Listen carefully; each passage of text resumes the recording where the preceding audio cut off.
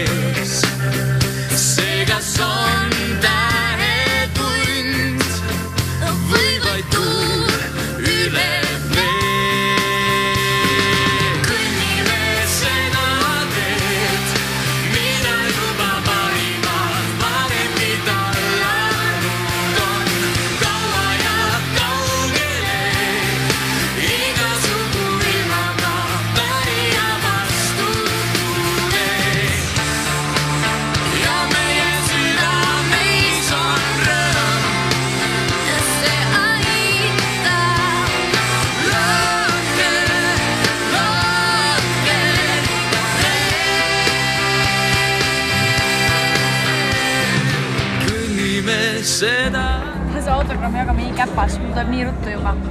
palun. varemgi tallanud on kaua ja kaugele, igasugu